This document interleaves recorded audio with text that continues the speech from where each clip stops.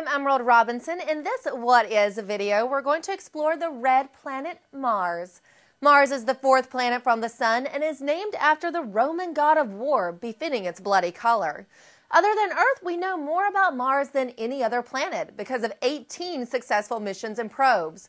Current missions include the rovers Opportunity in operation since 2004 and Curiosity, which landed on Mars on August 5, 2012.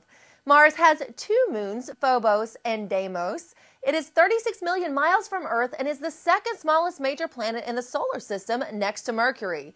Mars is roughly half the size of Earth, but is less dense, leaving it with only 37% of Earth's gravity. A 100 pound person would weigh just under 38 pounds on Mars.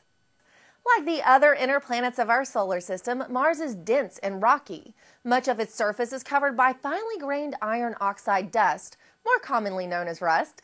This is what gives the planet its reddish appearance. Mars has impact craters similar to our moon and surface features not unlike the volcanoes, valleys, deserts, and polar ice caps of Earth.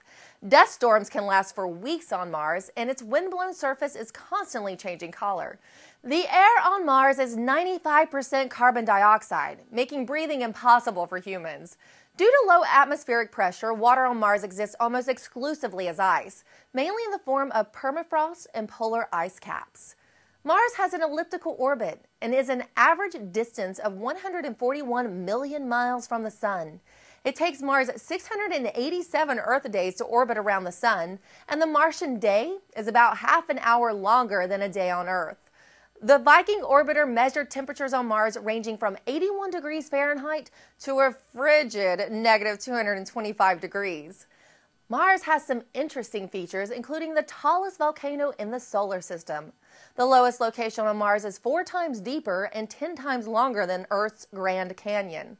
While we haven't found any Martians, the red planet continues to spark the imagination of Earthlings everywhere.